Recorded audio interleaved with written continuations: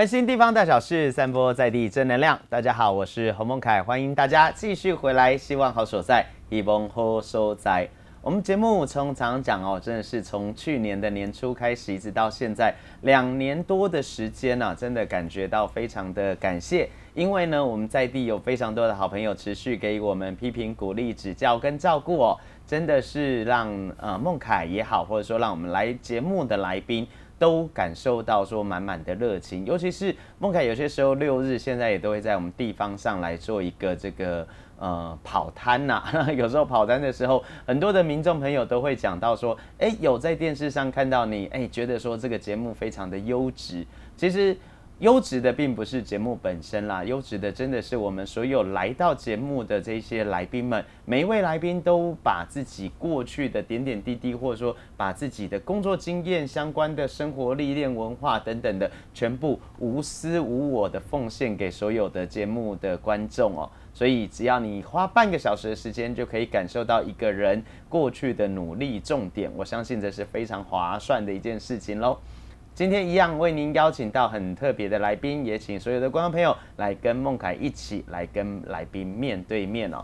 我们来聊到这个美的事情，而今天呢特别要邀请到是我们 JR 美学院我们的营运总监张俊宏张总监来到现场。俊宏你好，你好，主持人你好，是可不可以先来帮我们观众朋友来介绍一下 JR 美学院？哎，听起来 JR。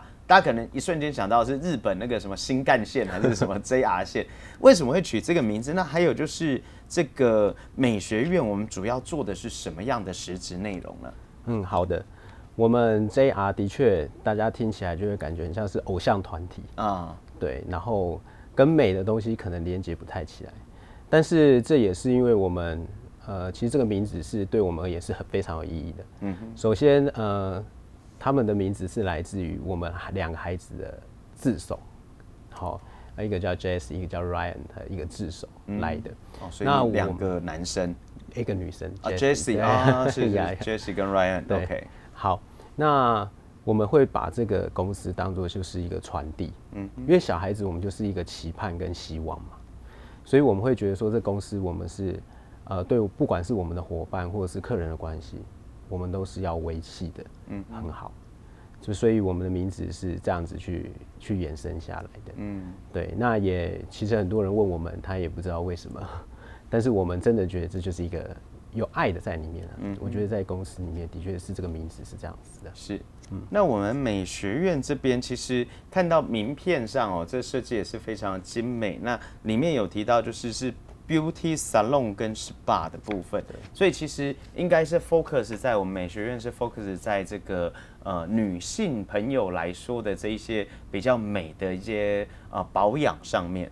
其实因为孟凯这个四月才结婚啊，那四月结婚前，我的太太她也就是常常一直在询问说，到底哪里会比较可以帮她来恢复一些美丽的自信啦，或者说一些比较呃方便的一些这个专业机关啊，那是不是也可以来分享一下，是说当初怎么会投入这样的一个行业？呃，其实这个工作对我而言是一个机缘巧遇，嗯哼，也是一种缘分。好，因为太太在怀孕的时候。他以前是一个彩妆师，嗯，好，那本身对美的部分就是有一定的认识，嗯那因为呃可能生活形态要做一些改变，那他就呃我们进而就去了解了，呃像美睫，好像是护肤，像说是 SPA 等等等等东西，我们就开始接触了，所以是一个因为要生孩子，所以做了一个改变。那我原本的工作其实并不是从事这部分。我主要是从事房地产的工作，嗯，那为什么会在淡水？其实也是因为从事房地产工作来到淡水，嗯，然后进而认识了这个地方，然后觉得非常棒，嗯，所以我们的第一家店落脚处就在淡水，嗯，对，是，所以从第一家店到现在多久时间了？呃，其实如果呃要把它追溯到最源头的话，大概也接近快十年哦，是，所以已经有十年的时间，那。这个变成是从以前到现在这样子持续的经营，哇，那你是很早就出社会来开始做相关的工作喽？呃，其实我也不年轻了，我现在也呃，如果因为我已经两个孩子嘛，嗯，对，大概我现在三十七岁，所以其实也不太年轻，也差不多了，我也三十五了，对，这样子。好，所以呃，我们这个笑红其实呃俊宏哦，其实。刚刚这样听您这样讲起来，真的是一个因缘际会的巧合，让你这个事业可以持续的发展。而到现在，我们知道说 JR 美学院其实已经有三家店了。那其中第一家这个旗舰店就是在我们的淡水，所以刚也特别提到，是因为这个工作因缘际会关系，所以才在淡水落地生根了。那你以前我们也好奇，就是你以前是学相关的行业吗？或者是因为男生总是我们比较少接触这一块？那你到现在，你有自己亲自去参与这些相关的这个呃作业吗？还是说是负责营运的部分？是的，其实我最主要的工作是负责呃管理行政，然后营运整个包含产品的一个呃，不管我们是要去采购啊，或者是怎么样，主要是我在处理这样子。那呃，但是我们因为我的老老婆艾比她是技术总监，她对这一方面的话就是把关的很好。所以，我们等于是分工合作。对，目前状况是这样子。嗯，对。那我以前，呃，我念书是在正大念书，啊，呃，系所是广播电视。OK。哦，对，是属于大传系这样子。但是出了社会之后，就是走业务这一块。嗯哼。也没有接触大传这部分。也没有去当记者啦，或是。哦，那个在大学的时候就当过。哦，是。对，所以。呃，出社会当完兵，我们就直接投入在那个不动产的行业。嗯哼，对，那进而就是跟因缘机会嘛，刚刚有提到，我们就投入在美的事业上面。对，其实呃，我们有发现这个工作其实非常的值得去投入。嗯哼，那也有非常多的工作者值得我们去呃培育。嗯，我觉得这个社会这一块这个领域，的确是我们可以多加去。呃，去了解，然后去投资投资的，我觉得这是蛮重要的。对，嗯，因为这个行业其实跟，就说我们看到您的这个项目里面，包括说像有嫁接睫毛啦、手足保养，或是这个护肤 SPA，还有凝胶美甲，哦，其实就是我们一般可以想象，就是说像眼睛啦、鼻子、嘴巴，然后这个手指、手手脚的一些保养，就是女生来说都是一个非常重要的，而且。就像孟凯刚刚讲的，就是我太太要结婚前，她就特别有这个需求 哦。那是不是也可以跟我们观众朋友来分享一下？是说您投入的这一段时间里面哦，那这个发掘说这一个行业的它的一个契机点，跟它的一个整个市场的的动能来说，你觉得有什么样的一个特点？其实我觉得美容这个行业应该也是蛮久了。嗯哼。对，所以不管大家有没有听过呃什么样的牌子，但是我觉得不管是连锁或是现在个人工作室也非常多。对，那我们投入在这个行业，其实我们看到就是呃客户的需求，嗯哼，还有客户的问题，所以我们就是 JR 的存在就是解决客户的问题，满足客户的需求。那为什么我会觉得说这个市场可能很多人说很多人有也许在投入，但是为什么好像？有些辛苦的地方，那我觉得这就是我们呃创造不一样的地方，因为呃很多工作室是属于个人的，嗯嗯，对，那我我觉得工作室也可以做的不错，可是由于跟工作室个人的他的时间或规模或者是等等的东西，好就会比较受限。那我们其实做团队是需要蛮大勇气的，我个人觉得。是对，是真的是需要勇气。所以当时我在跟艾比那个技术总监在讨论的时候，我们就有想说，到底要不要去做团队？因为一旦做了团队之后，我们就会面临了非常多问题。嗯哼。但是我们相信的一件事就是说，一个人也许可以走很快，嗯，可是一群人可以走更久。嗯。那我们希望就是给客户的稳定的感觉，安心的感觉。其实美这个行业。呃，它是很多很多的需求，但是其实它很多细节在里面。嗯哼，对，所以我们在经营这个行业当中，或者是说我们在 JR 美学院，我们的核心价值就是维客思维。嗯，就是从客户的角度去出发，然后回推我们需要什么样的技术，我们需要什么样的产品，所以我们都是从客户端去思考。嗯，对，所以这可能跟其他的思维是不太一样的。很多人可能出发点会觉得哪个产品比较好卖啊，什么的，比较成本比较低，比较高价，或是比较广告商品。对，这个我们从来没有去从这思这个点去思考，因为我们想的是这个客人会不会喜欢，嗯呃，对他有没有效果，我们从这个地方去看，因为我们自己也要认同才行。所以我们在做任何事情，我们的步伐没有那么快，比较慢一点点。可是我们是客人回馈，我们就做什么；客人回馈，我们去修正去做什么。所以客人大部分在淡水的客人都跟我们非常久，嗯，对，这是非常久，有革命情感，是 对，也是客户推着我们去进步，嗯，或去推广去开分店。其实都他很多都是客人。给我们的一些力量，这样。他们提出的需求，哎，也许这个是可以在哪里看？因为我注意到你们第二家店跟第三家店分别在天母跟忠孝东路。哎，天母跟忠孝东路这个，如果说内行人知道的话，这两个地方应该是一级战区吧？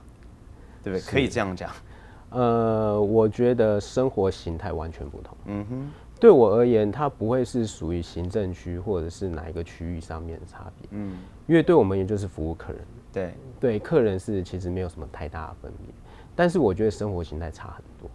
比如说以淡水来说的话，大家就是在地的那种文化，嗯哼，还有大家的那种呃，可能彼此间的一些交流，哦是比较，我觉得更直接。嗯，我觉得淡水的客人给我们感觉是很直接的。是对，那天天母的课程的话，他们是属于另外一种生活形态。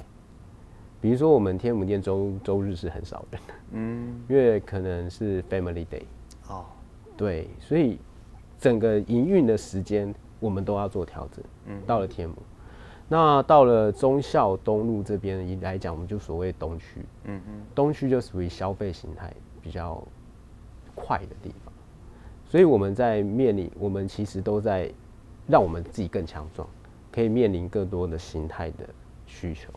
所以我们也才能从中去调整我们的品质，对，维持在一个 high quality 的地方。所以我们就是这样子去挑战。是，哎，俊龙，那我可不可以请教？因为其实你刚刚也提到一个点，就是说，呃，现在这样美的行业其实也有很多的竞争者。哦，不管是说连锁店也好，或者说个人工作室也好，其实也都有不少。那你刚刚也提到一个重点是说，哎，到底思考是要做团队还是做个人？因为个人当然你只要把自己做好，然后有培养你自己固定的会员朋友、会员顾客，这样子就够了。但整个团队可能连水电瓦斯营运开销、宣传都会变成是你这边来负责。不过。我们这个 JR 美学院的，你觉得说利基点，或者说让消费者留下来，然后舍不得离开的这个主要的 key point 在哪？好，呃，其实我真的是，如果有观众好有呃有兴趣的话，欢迎来我们店参观，对，体验看看。其实也可以来，就是单纯参观，对，因为我们的东西是属于呃，我个人认为啦。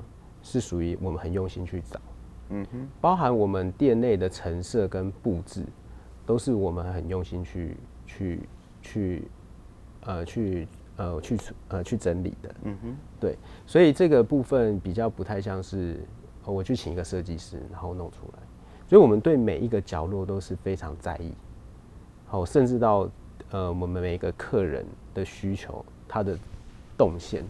我们都要让过，嗯，对，所以大部分的客人给我们的回馈是，他觉得来到我们的环境是舒服的，这是首先。第二个就是很有安全感，对。第三个就是环境，他会觉得是可以给他一些惊讶的地方，对，惊喜的地方。因为我们纯粹来享受，我觉得已经是很基本的东西。如果可以让他再有一些感受，然后然后彻底的放松，我觉得这是很重要的。好，那我觉得这个关键比较，当然，因为每每年都会有不一样的东西，所以我们每年都还要针对针对我们店的部分去做调整，所以我觉得这是一个关键。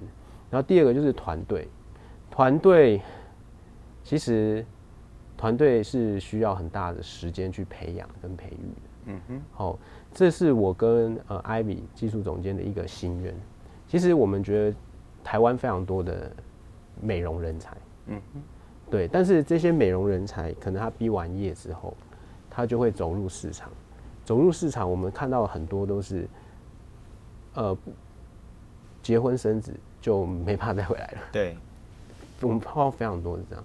好，为什么我们叫美学院的“院”这个字呢？就是有点像是学校，嗯有点像是一个呃 family 的感觉。就是我们希望我们的伙伴是长长久久。他如果结婚生子，我们也会配合他结婚生子一个配套措施，让他可以在 JR 美学院继续工作。这是我们的一个很大的使命感。嗯嗯，对，所以我们呃很多客人都会觉得说，来到这边，我们同仁流动率是不高的，很低的。好，但是呃如果去比较去其他的美容商家，我听到的回馈是，可能不一定都是这个样子的美容师在服务他。对，所以我们希望的就是安全感、安定、稳定。对，这是我们觉得团队最重要的东西。嗯，而且其实，如果你就说个人好了，不管是你有没有什么会员储资金，呃，如果今天你生病了怎么办？嗯，你突然临时家里有事，你没办法配合客人时间怎么办？对，对，或者是我们常常，嗯，有时候客人会有两三个同事进来怎么办？忙不过来，对，确实忙不过来。对，那个团队就是可以办法去做这件事情。好，所以我们就是想办法，就是给客人方便，然后更多舞台给我们现在年轻的一些美容从业者，这是我们的一个使命跟心愿。嗯，对，是。而且因为在经营这个所谓美的行业，其实你的客户应该都是以女性为主哦。女生来讲。大部分都是这种感官的动物，都相对来讲比较感性，也因此你一直提到我这样子，不知道解读有没有错误，但是就是你把 JR 美学院的这个气氛氛围营造的非常的好，让女性的消费者来讲来到这个美学院就可以很彻底的放松、很自在、很觉得舒适感。那进一步的也可以跟我们的这些美容师等等的来做一个最好的搭配。是这样子，是的，没有错。嗯，对，OK。所以这个这部分，当然我们有这个技术总监，就是您的太太嘛，哈。但你本身，呃，有去参观，或是说去了解同行的其他人怎么做，然后进一步的来改良吗？呃，这是一定有的。嗯，其实我觉得不一定是呃同业啦。嗯哼，对，其实有时候我们去一些好的地方，或者是我过往是喜喜欢去日本。旅行，因为我觉得去日本旅行给我很多的，呃，很多的一些启发，启发，还有很多的一些想法。好，那因为日本人他们是服务业做得非常好，是对，不管是礼貌啊，不管是危机处理啊，不管是各每一个细节，他们都是很到位的。所以我以前是常常去日本旅行，然后跟也是跟那个技术总监一起去这样子。那呃，所以我们回来就会不断的吸收去取经的一些得到的一些东西，回来台湾，然后我们把这些东西放在我们的美学院里面。对，那这些东西都是我们觉得 OK 好的。嗯，对。其实我们就像我刚才讲，常常说维客思维，就是我是客人，我能不能满意？嗯哼，我的接受度如何？好，如果我们都觉得不是很 OK。这个东西我们就要去修正、去改变，所以我们常常做的事情就是，我是客人，嗯，我我的感受是这样，来挑挑剔一点，或是来从客人的角度跟观点来看，现在做的好不好？对，嗯，这个是我们一直在做的事情。嗯哼，是，哇，所以说其实这个就好像做一个事业或做一个生意无他，这个道理没有其他，就是真的。用心努力，然后以客为尊，服务至上，好像也就是这样嘛，对不对？哎，那个俊宏，你本身来讲也是三十七岁，其实也还是年轻啦，吼。那你说你这个 JR 美学院，其实是差不多十年前就开始来逐步规划实现，所以那个时候你差不多二十七岁左右哦。是不是有一些？那也一做就是做了十年。那这当中当然水电成本、瓦斯成本等等的这一些人事费用赶销，您有没有哪一些点是你跟你在创业之前的时候，其实想象有点不一样的？那可以给我们一些想要创业的朋友一些想法或是提醒，哪个地方应该特别要注意？好，其实我觉得创业本身最简单就是创业这件事情。啊，对，因为你就把一家店开起来，其实我觉得是最简单。嗯哼，最难是后面营运的部分。OK，怎么样维持？所以很多店家面临就是他要不要扩张，他也是面临到能不能营运的。嗯，接下来经营管理的东西，尤其现在的社会是不太一样的。以前可能就是呃注重的是呃客人人与人最单纯的一种不断的去推广。嗯，现在还有再加上就是你网络行销，对，社群平台，对，对，这个力量也是非常大。哦，尤其现在都给你几颗星评鉴这样子，很重要嘛，对不对？哦，如果你稍微少了一颗几颗星，大家就会很在意。所以我觉得，呃，现在的创业者要有个思维，就是你能不能把线上的客户带到线下来？嗯哼，对。那你线下的客户也会常常去线上去看一些活动，去 follow 你。我觉得这是，呃，应该是不管现在做哪一行，你都要面临的东西，就是你如何把线上的资源带到线下，然后线下的客人可以继续 follow 你。嗯哼。那这一块就是必须要专业的东西，专业的团队去处理。所以我觉得现在必然会有一部分资源投资会在这一块。当然，我认为最关键的还是你本身产品、你本身服务要够好。嗯嗯，对，你本身服务的那个、你本身的经营的这一块要够好，然后别人才会认同，然后这样子才会继续的永续的一下接下来这样子。嗯，其实服务就是很像这个，因为既然是要做服务业，服务就是硬底子啦，就是真道理，就是一定要把它给做好之后，你额外的再加，不然很多时候。有些人可能会本末倒置，就觉得服务做的没有到那么到位，但是价格一直在下降，或者是一直在打折，以为低价就可以邀请到好的客人。其实有些时候低价不一定邀到好客人哦，因为会注重价格的，通常这个客人可能他的经济能力，或者是说他的这个呃任何的这些消费习惯，可能也是有限，然后。那最后很难得的邀请到我们呃俊宏来到节目现场哦，俊宏他本身是现在 JR 美学院的呃营运总监，那营运总监呢也做了差不多十年的一个时间了。最后有没有一些什么近期或是比较中期的计划分享，想要来跟所有观众朋友来做一个分享？因为当然呃旗舰店是淡水，那再再来也有天母店跟忠孝店。不知道还有扩店的打算吗？或者是说什么样的一些计划？是的，的确，因为我们现在三家店也都是直营门市。嗯哼，好，因为我们是很注重品质跟呃有没有理念认同。对，因为我们希望是走长一点点，所以未来我们的计划会是说，我们很欢迎，好，尤其是在台湾的想要做好美容这一块的呃从业人员可以加入我们。那加入我们的方式就是说。可以先从技术方面加入，嗯嗯，对，好，或者是说你在营运上面，你本身你自己有碰到困难，我们也欢迎说我们一起来讨论，因为我觉得就是要把台湾这一块做好，做好，就像刚刚主持人有讲到，就是说我们不希望是恶性竞争，我们要把品质做好。其实如果品质做不出来，我们的价格去剥削，其实我们剥削回来的还是客人，啊。我真的羊毛出在羊身上，我们最后回来剥削的是客人，嗯嗯，这样是不对的。我一直非常不认同这样子的做法，但是必须坚持啊。